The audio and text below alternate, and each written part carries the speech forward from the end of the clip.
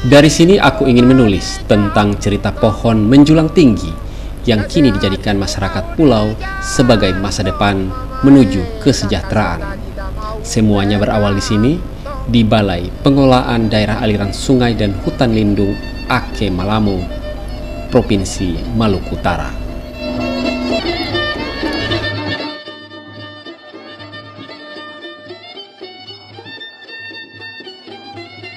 Sebagai provinsi kepulauan, tentulah Maluku Utara memiliki banyak sejarah tentang kisah jalur rempah yang membawanya terkenal akan komoditi rempah khususnya cengkeh dan pala. Dominasi masyarakat petani kebun menjadikan tanaman cengkeh dan pala menjadi tanaman yang tidak asing lagi bagi masyarakat setempat. Luasan lahan di daerah kepulauan ini tentulah belum tergarap secara optimal jika hanya mengandalkan tanaman khas berupa tanaman rempah yakni cengkeh dan pala saja. Untuk mengoptimalkan potensi lahan milik masyarakat, pemerintah pusat melalui Balai Pengelolaan Daerah Aliran Sungai dan Hutan Lindung Ake Malamo telah menjalankan program Kebun Bibit Rakyat atau KBR dengan pembuatan bibit unggul berkualitas. Bibit KBR per kelompok sebanyak 20.000 dibagikan gratis atau cuma-cuma kepada mereka. Program ini sudah dijalankan sejak tahun 2010 yang melibatkan sejumlah masyarakat dari kelompok tani yang tergabung pada program Kebun Bibit Rakyat tersebut. BPD Sael Ake Malamo dalam kurun waktu tahun 2010 sampai dengan tahun 2018 telah memfasilitasi pembuatan KBR sebanyak 340 kelompok tani yang tersebar di seluruh provinsi Maluku Utara. Setiap kelompok membuat bibit sebanyak 20.000 sampai dengan 30.000 batang. Kini ada banyak perubahan yang dialami kelompok tani dari keberadaan program KBR. Di antaranya adalah program KBR mampu menggiatkan masyarakat untuk menanam, selain merehabilitasi lahan dan tentunya menginvestasikan pendapatan melalui nilai ekonomis dari keberadaan kayu yang kian hari semakin meningkat permintaannya. Sebagian besar bibit pohon yang ditanam kini telah berangsur-angsur mendekati masa panen, seperti yang dirasakan Abdul Fatah Makmur, warga desa Akilamo, Kabupaten Halmahera Barat. Petani ini merupakan salah satu anggota kelompok yang merasakan manfaat dari keberadaan program KBR di Provinsi Maluku Utara dari awalnya itu program bibit rakyat ini asalnya dari Pedas Ake Malamo. Anggota 68 orang. Satu orang dapat satu hektar. Jumlah pohon seribu pohon. Jadi tanah diberikan dari Kesultanan Ternate. Jadi di sini dong bilang Ahakulano. Jadi Sultan Ternate yang kasih masyarakat tanah.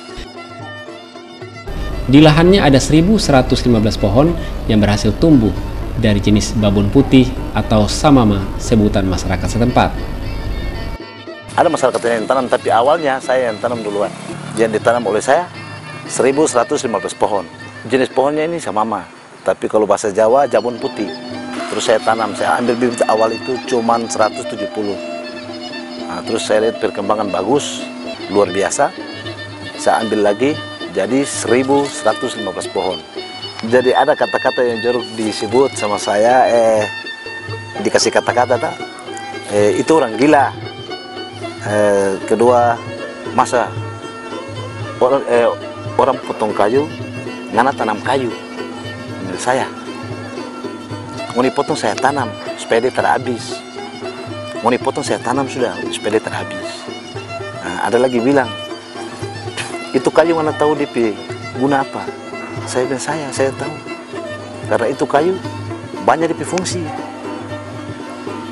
Nanti sudah kau mau tahu 2020 mau tahu DP fungsi apa. Ternyata 2019 belum cukup masih kurang satu tahun DP fungsi sudah ada.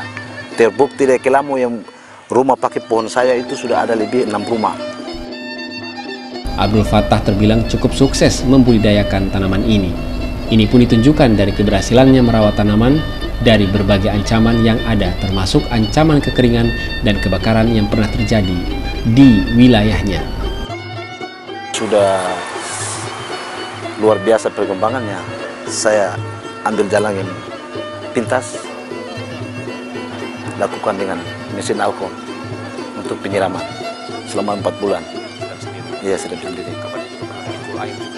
Saya dari jangkauan selang yang tidak cukup, saya dengan galon angkat air dengan pungguk terus saya siram. Abdul Fattah menanam pohon samama atau jabun putih sejak tahun 2012. Kini, kayunya sudah memasuki masa panen dan siap untuk dipasarkan.